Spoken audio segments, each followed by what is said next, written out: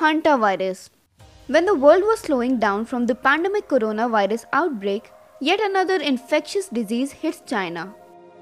The hantavirus registered its first death when the total coronavirus cases are near the 4 lakh mark globally and scientists have yet to find its cure. A person from the southern western Yunnan province passed away after contracting from the hantavirus. Let us know everything about this infectious disease and how it can affect us.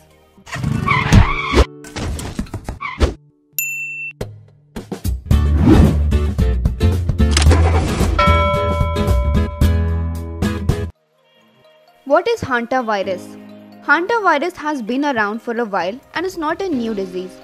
It is a family of viruses which is mainly spread by rodents.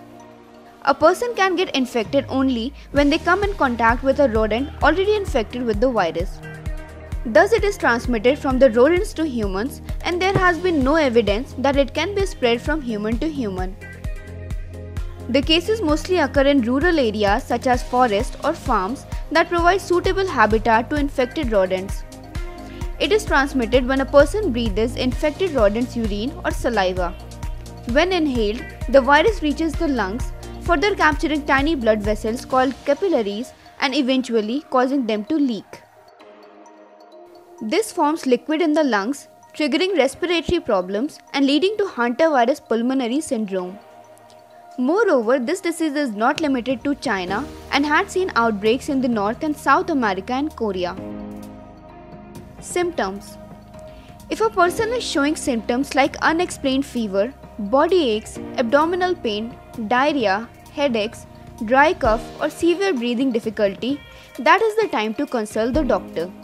But again, a person living in areas with the habitat of rats can only get infected with this disease. The best prevention method is to tackle rats problem of wearing a respirator. How hantavirus is different from coronavirus.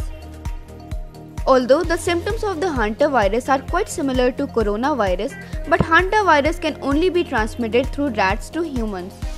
According to WHO, if a person touches their eyes, nose, or mouth after touching the feces, urine, etc. of rats, there is an increased risk of getting infected with the virus.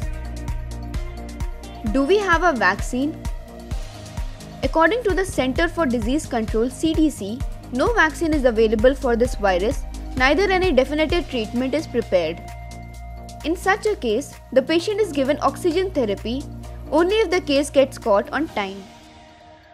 COVID 19 has killed more than 17,000 people in 169 countries to date, and the world is not ready for yet another infectious disease. Hello guys, the ebook for the month of December is available on our website. Get an exclusive discount of 30%. Use the code CFA30.